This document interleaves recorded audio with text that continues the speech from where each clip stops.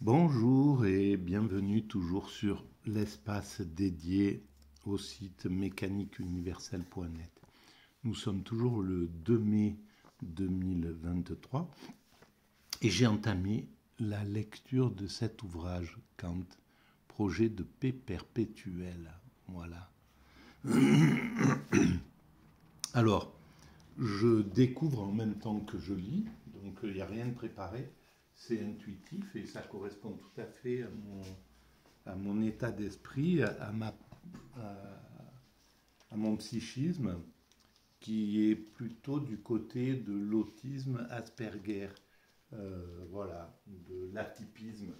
Et donc j'ai j'ai du mal à, organiser euh, les, le, mon travail d'une autre manière que cette façon spontanée et, on va dire, euh, éclatée de, de mes réflexions. Donc je lis, je découvre et je commente, voilà, et puis euh, il y a parfois des choses peut-être un peu plus intéressantes que d'autres qui peuvent émerger de ces lectures. voilà. Euh, en tout cas, c'est ma façon de pratiquer. Alors, j'en suis au tout début, donc la, l'avant-propos du traducteur. Donc, ce que je viens de lire, le, gouvernement qui offre selon Kant le plus de garanties est le gouvernement républicain. Voilà. Pour lui, il cherche donc à trouver le moyen de réaliser la paix perpétuelle. Et vous savez que, si vous connaissez mon travail, que le, mon site, l'humanité est destinée à l'humanité, euh, la mécanique universelle, j'essaie de démontrer justement que l'humanité va vers son ultime perfection. Alors c'est une perfection spirituelle, c'est-à-dire que nous, allons atteindre la sagesse absolue, l'extase, le, bonheur absolu, etc. Voilà. C'est ça le fond c'est quelque chose qui est euh, incarné, c'est de l'incarnation, c'est le bonheur incarné que nous cherchons à atteindre. Voilà, que l'humanité dans son ensemble vise inconsciemment à atteindre. Euh, mais pour ça, évidemment, il faut que cette planète soit l'écran dans lequel l'humanité va pouvoir jubiler vivre son état de bonheur, son état de perfection, son état de paradis, paradisiaque. Et pour la rendre paradisiaque, eh bien, il faut qu'on ait dépassé les antagonismes, qu'on ait réalisé la, la paix universelle, pardon, la fraternité, euh, un fonctionnement totalement écologique. Et euh, on voit bien que nous sommes partis dans cette dans ce travail de, sur, sur, ces deux niveaux, par exemple, en évoluant progressivement vers un fonctionnement universel, maintenant dont nous avons construit toutes les structures, l'ONU, l'UNESCO, l'OMS, l'OMC, l'Organisation mondiale du travail, etc., on voit qu'on a la possibilité qu'on est qu'on a commencé à construire les bases pour réaliser cette paix universelle. Il faudra encore quelques siècles de travail, très certainement, euh, pour que l'ONU, par exemple, prenne vraiment son envergure, devienne le, vrai père ou la vraie mère des nations, euh, avec euh, une autorité suffisante sur l'ensemble de ses enfants, autant que sur les Américains que sur les Chinois, sur etc. etc. Donc euh, l'ONU soit plus haut, plus fort que euh, les, les, nations aujourd'hui qui la corrompent, qui l'abusent, qui la maltraitent, qui l'utilisent. Voilà. pour ne citer personne, mais bon, voilà, on voit bien que euh, on, a déclenché des guerres en abusant de l'ONU, par exemple siècle. Et eh bien tout ça, ça devra être euh, résorbé. C'est, euh, quelque chose de naturel. Nous ne sommes que des hommes. Donc s'il y a une faille dans le système, si on est devant une faiblesse, un système faible, les, ben, on l'utilise. C'est ce qu'ont fait les Américains en, utilisant avec la petite fiole pour aller déclencher une guerre. Euh, voilà, ils, ont cru qu'ils étaient plus malins, qu'ils étaient malins. Voilà, c'était un petit groupe de malins, de, gens qui se sont crus malins. Mais évidemment, c'est quelque chose qui, qui une sorte de boulet à leurs pieds. On voit bien que maintenant, quand on abuse de la société humaine, euh, ben, on est tout de suite, euh, en fait, c'est contre-productif. Évidemment, mais voilà, ils, se sont peut-être sentis malins au moment où ils l'ont fait, mais euh, je ne voudrais pas être dans l'état d'esprit de Powell à la fin de son existence, dans les dernières heures ou journées de sa vie. ben, je, voilà, on ne se noircit pas l'âme sans, sans, sans conséquence en réalité. Donc le, les mauvaises actions sont toujours une... C'est, c'est préjudiciable à, ceux qui les, accomplissent. Donc ça, ça finira par être, conscientisé par l'humanité. Dans quelques décennies, on, on verra que ben, à chaque fois qu'un système, qu'une nation transgresse, ben, elle va être conspuée par l'ensemble de l'humanité. On voit bien maintenant à quel point l'ensemble du, du monde, le, monde africain, le monde sud-américain, euh, critique le comportement que l'Occident a eu depuis, euh, depuis 600 ans, depuis, que, depuis la colonisation de, de l'Amérique, depuis l'esclavage, depuis la colonisation après de l'Afrique, etc. Donc maintenant, on est au moment où il va falloir rendre des comptes, il va falloir, euh, ça commence, hein, et il va falloir vraiment rabattre notre caquet, entre guillemets. Il va falloir que l'Occident perde de son narcissisme, ce narcissisme qui, euh, qui naît de la domination. un esclavagiste est obligé d'être narcissique, de se croire supérieur à, à celui qu'il met en esclavage, même s'il est inférieur en réalité, comme l'a bien démontré Hegel. Mais il est obligé de se surestimer pour pouvoir abuser d'autrui. Voilà. Et, euh, et pareil pour la colonisation un, colon est obligé de se sentir supérieur. Sinon, il ne peut pas coloniser. Sinon, il est obligé de penser à l'égalité avec l'autre. Il sait que c'est un être humain et qu'il est, euh, qu'ils sont, qui sont égaux.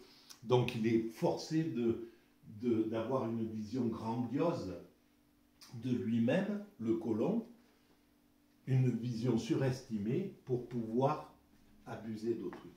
Et c'est pourquoi sur la mécanique universelle, j'ai écrit, et c'est une des phrases dont je suis un peu fier, euh, le, tout homme qui se croit supérieur à autrui est forcément inférieur, humainement parlant, à celui qui se considère comme son égal. Voilà. Eh ben oui, c'est... Voilà. Bon, bref. Alors, je continue la lecture et on découvre en même temps et je commence s'il le faut. Alors, à supposer toutefois qu'une nation sortie de l'état de nature se soit conformée aux règles du droit, la liberté des citoyens ne sera pas néanmoins à l'abri de tout danger. Le monde, en effet, ne comprend pas une seule nation, mais en comprend plusieurs. Cet état de choses est d'ailleurs normal un gouvernement régissant seul le monde entier ne saurait guère se concevoir. Et eh bien, à l'époque, il, ne savait, on, ne pouvait guère le concevoir. Mais maintenant, 200 ans plus tard, 300 ans presque plus tard, on peut le concevoir, évidemment. C'est là où il y a une grande différence entre deux de pensée. Pour Kant, c'était la concordance des nations, de, des nations entre elles qui était importante. Maintenant, pour nous, en tant que, qu'être humain du 21e siècle, eh bien, on, peut entrevoir l'idée que les choses vont se régler universellement, qu'on va dépasser les nations. À l'époque de Kant, ce n'était pas possible de penser en ces termes-là. L'ONU n'avait pas été euh, imaginée. Le, gouvernement des nations qui a, qui a été, euh, euh, je me souviens plus que, comment ça s'appelle, à la sortie de la guerre 14-18, les nations se sont réunies pour, pour essayer justement de, de fonder quelque chose d'universel, d'aller vers l'universel. Elles ont compris qu'une guerre comme celle-là, elle était l'œuvre du, nationalisme, elle était l'œuvre de, de, la pensée euh, euh, qui était arrêtée au, national. Et à la sortie de 39-45, ça, a été encore plus conformé. Mais malheureusement, on n'a pas, on n'a pas mis l'accent sur l'ONU qu'on venait de créer, l'Organisation des Nations Unies.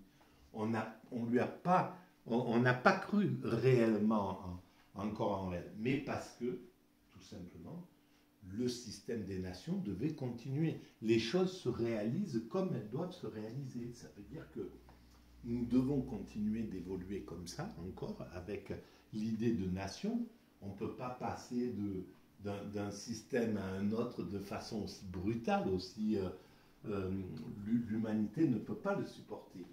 Euh, c'est pourquoi il y a, quand on parle, quand on va vers l'universel, il y a une, résistance nationale qui se fait jour. C'est insupportable pour de nombreuses pensées de, de pouvoir penser l'universel ils ne se sentent pas protégés par ce système-là. Ils ont besoin de se sentir protégés au niveau du, national. D'où le nationalisme qui monte euh, avec toutes ses dérives, le racisme, etc. voilà, l'exclusion de l'autre, voilà. Mais tout ça sera dépassé.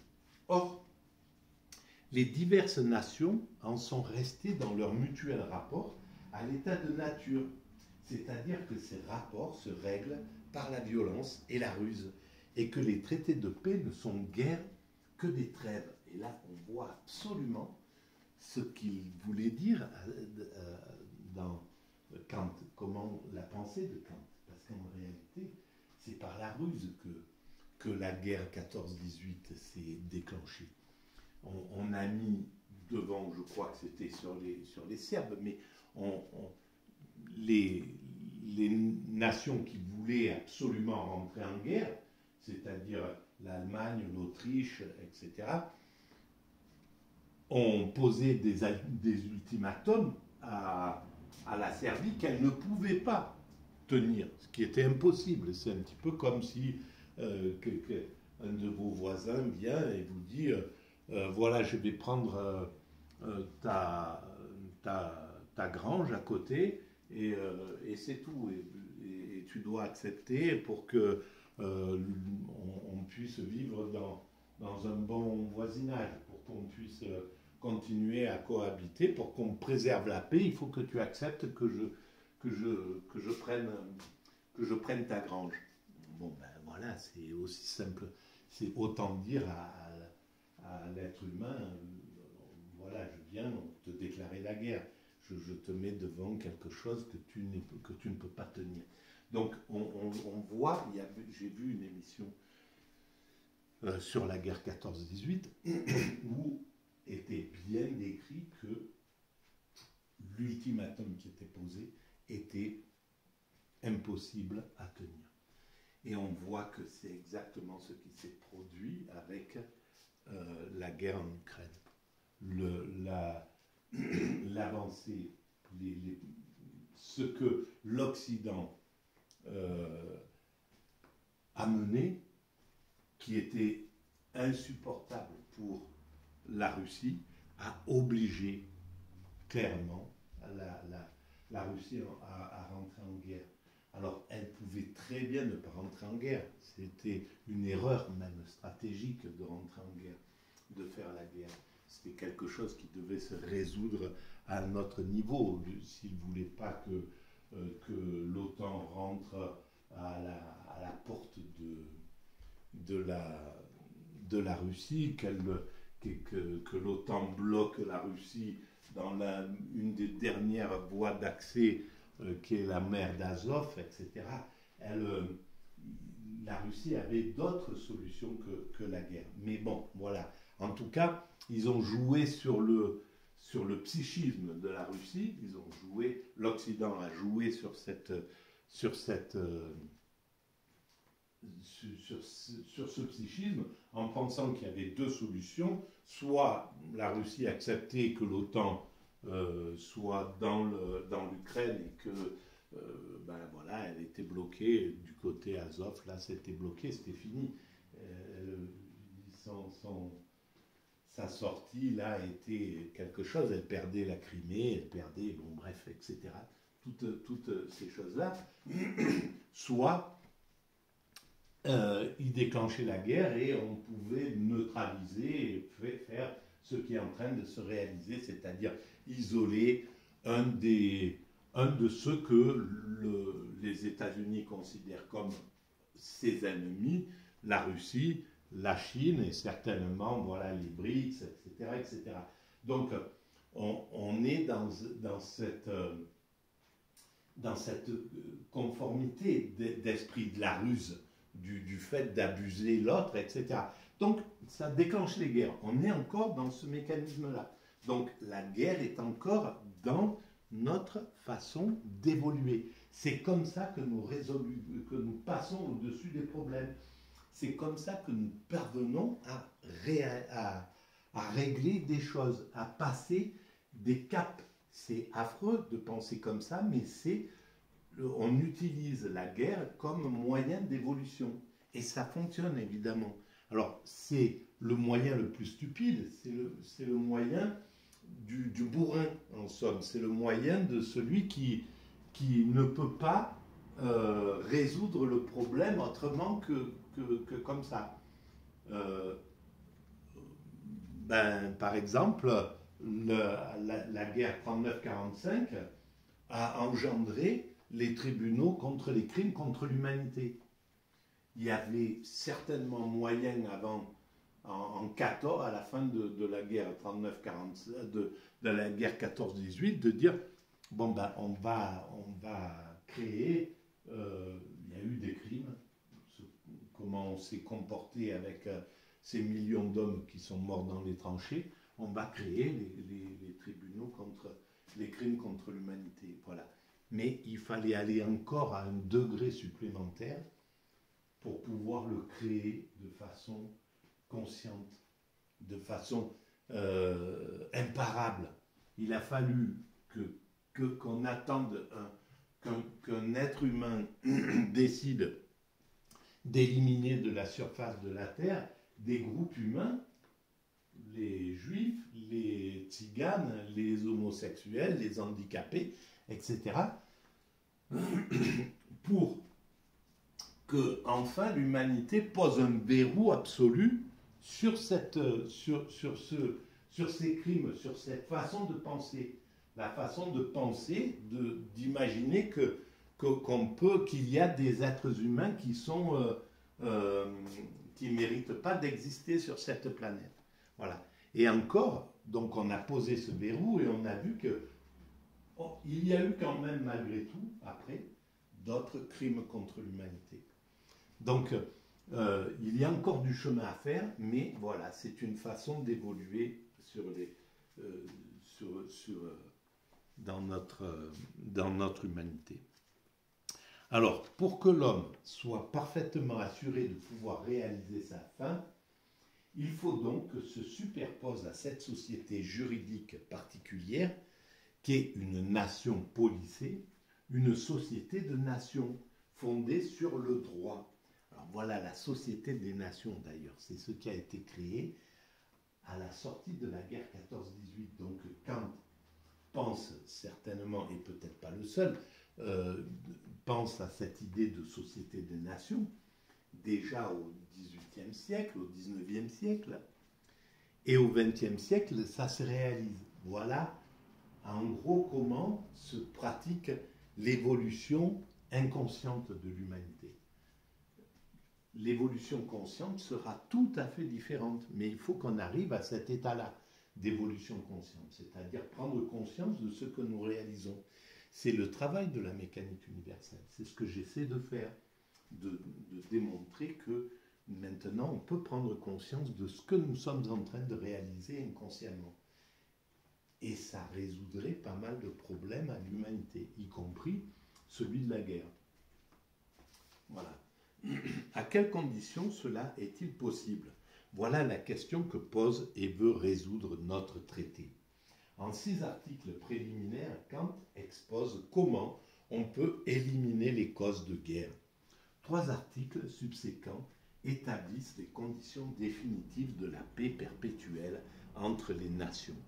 Enfin, dans un article secret, Kant demande qu'en ces matières, les philosophes soient consultés. Eh bien, très bien. Et moi qui suis, qui me considère de façon totalement injuste et orgueilleuse comme euh, un philosophe, eh bien, je serai consulté, je me, mets dans le, dans le lot de ceux qui sont consultés. Voilà. Je vous remercie de votre écoute. On va continuer cette euh, avancée voilà euh, sur Kant, projet de paix perpétuelle. Merci de votre écoute et n'hésitez pas à mettre des, des pouces si vous trouvez que cet espace est intéressant et euh, de vous abonner à la chaîne. Merci, au revoir.